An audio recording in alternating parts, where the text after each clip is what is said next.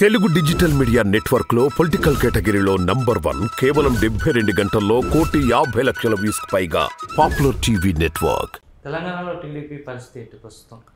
తెలంగాణలో టీడీపీ ఈసారి పోటీ చేయాలని వాళ్ళు అనుకున్నారు. ఎందుకంటే మీకు చెప్తా తెలంగాణలో ఆంధ్రప్రదేశ్ ఉన్న వరకు కూడా తెలంగాణలో టీడీపీ ఒక బలమైన శక్తి. దానికి కొన్ని సామాజిక వర్గాలు దాని వెనుక బలంగా ఉండే ముఖ్యంగా బీసీ వర్గాలు కమ్మ సామాజిక వర్గం కానీ మిగతా వర్గాలు ఆంధ్ర సెటిలర్స్ కానీ పెద్ద ఎత్తున తెలంగాణ ప్రాంతంలో టీడీపీ ఓటు బ్యాంక్గా ఉండే. ఎప్పుడైతే తెలంగాణ రాష్ట్రం రావడం జరిగిందో అది ఆంధ్ర పె- అధికార అంటే ఆధిపత్యంలో ఉన్న పార్టీ కాబట్టి తెలంగాణలో దాని స్థానం తగ్గిపోయింది. తగ్గిపోయినప్పుడు కూడా మీరు చూస్తే రెండు వేల పద్నాలుగు ఎలక్షన్స్లో బీజేపీ టీడీపీ రెండు కలిసి పోటీ చేసినాయి. పోటీ చేస్తే వాళ్ళకు ఇరవై సీట్లు రావడం జరిగింది. ఇది రెండు వేల పద్దెనిమిది పద్నాలుగు తెలంగాణ రాష్ట్రం వచ్చిన తర్వాత విషయం చెప్తాను. వచ్చిన తర్వాత మొదటి ఎలక్షన్లో జరిగినప్పుడు ఇరవై సీట్లు వచ్చినాయి. ఇరవై సీట్లలో పదిహేను సీట్లు టీడీపీకి వచ్చినాయి. అంటే అప్పటికి కూడా తెలంగాణ రాష్ట్రం వచ్చిన తర్వాత కూడా తెలంగాణలో టీడీపీ బేస్ ఉండే బలంగానే ఉండే. సరే తర్వాత తర్వాత ఏమైంది? ఆ ఓటు నోటు కేసు తర్వాత చంద్రబాబు గారు హైదరాబాద్ వదిలిపెట్టి అమరావతికి పోవడం అనేక రకాల కారణాల వల్ల క్రమేపీ చంద్రశేఖరరావు గారు తెలుగు ఏం చేశారంటే ఆ తెలుగుదేశం బేస్ అంతా కూడా ఆయన కల్పేసుకుని పెద్ద ఎత్తున తెలుగుదేశం ఎమ్మెల్యేలను పార్టీ నాయకులను తర్వాత పార్టీని పెద్ద ఎత్తున కలుపుకోవడం జరిగింది. కలుపుకోవడంతో ఏమైందంటే ఈ తెలుగుదేశం బేసు గణనీయంగా టీఆర్ఎస్కు వెళ్ళిపోవడం అప్పుడు టీఆర్ఎస్ ఉంది టీఆర్ఎస్కి వెళ్ళిపోవడం జరిగింది. అయినప్పటికీ కూడా మీరు రెండు వేల పద్దెనిమిదిలో మళ్ళీ ఎలక్షన్ చూస్తే కూడా ఖమ్మంలో రెండు సీట్లు గెలిచింది అది. అంటే ఇప్పటికి కూడా దానికి కొంత ఉన్నది. ఉన్నది. అంత ఇప్పుడు రెండు వేల ఇరవై మూడులో కూడా దానికి కొంత బేస్ ఉన్నది.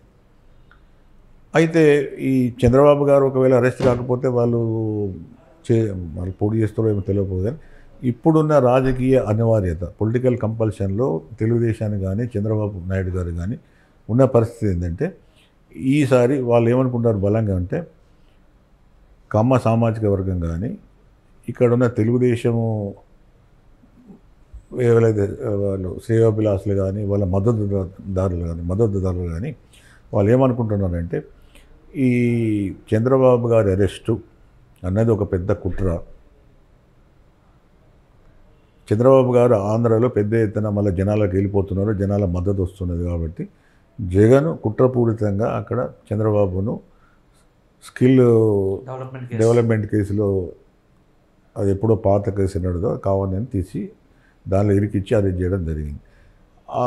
అది అక్కడికి ఆగకుండా అది వాళ్ళు మిగతా ఎంత దూరం వాళ్ళ ఆలోచన ఎక్కడికి పోయిందంటే ఇంత పెద్ద నిర్ణయం తీసుకునే టప్పుడు తప్పకుండా మోడీ ఆశీస్సులు లేకుండా అక్కడ ఉన్న సీఎం జగన్ గారు అంత సాహసం చేయరు. దాంతోపాటుగా చంద్రబాబు గారు అరెస్ట్ అయిన తర్వాత ఇక్కడ తెలంగాణలో జరిగిన పరిణామాలన్నీ కూడా ఇక్కడ కేటీఆర్ మాట్లాడే విషయాలు కానీ లేకపోతే ఇక్కడ కేసీఆర్ వాళ్ళ ప్రభుత్వంలో వివరించిన తీరు కానీ ఈ రెండు కూడా ఒక విధంగా తెలుగుదేశానికి కానీ చంద్రబాబు గారికి కానీ అగనెస్ట్గానే ఉన్నాయి. అంటే వాళ్ళు ఇప్పటికి కూడా బలంగా ఏమనుకుంటారంటే ఈ వాళ్ళ మద్దతుదారులు కానీ వాళ్ళ సామాజిక వర్గం కానీ ఇది చంద్రబాబు గారిని అరెస్ట్ చేయడంలో అటు కేంద్రంలో మోడీ గారి పాత్ర జగన్ గారి పాత్ర ఇటు కేసీఆర్ పాత్ర ఉన్నది కాబట్టి మేము ఈసారి పోటీ చేయొద్దని చంద్రబాబు గారు నేను ఇవాళ ఆంధ్రజ్యోతిలో క్లియర్గా రాశాను అది. న్యూస్ ఏంటంటే మనం ఈసారి మనం ఫోకస్ పెట్టే పరిస్థితి లేదు. ఎందుకంటే ఇప్పుడు పరిస్థితులు అనుకూలంగా లేవు కాబట్టి ఈసారి మాత్రం మనం పోటీ చేయొద్దు అని బయటికి చెప్పడం జరిగింది. అది అది బయటికి చెప్పింది. కానీ అసలు విషయం ఏంటంటే తెలుగుదేశం పోటీ చేస్తే ఖచ్చితంగా ప్రతి నియోజక అంటే కొన్ని చాలా నియోజకవర్గాలలో కూడా ఐదు నుంచి వెళ్ళి పదివేలు పదిహేను వేల ఓట్లు వస్తాయి. వాళ్ళు గెలవకున్నా కూడా ఓట్లు వస్తాయి. ఆ ఓట్లన్నీ కూడా చీలిపోతే కేసీఆర్ గెలుస్తాడు. అసలు విషయం అది అక్కడ. కేసీఆర్ గెలుస్తారు కాబట్టి కేసీఆర్ గెలవడం అన్నది వాళ్ళకు వాళ్ళ ఆ సామాజిక వర్గాన్ని కానీ ఆ తెలుగుదేశం మద్దతుదారులు కానీ ఇష్టం లేదు.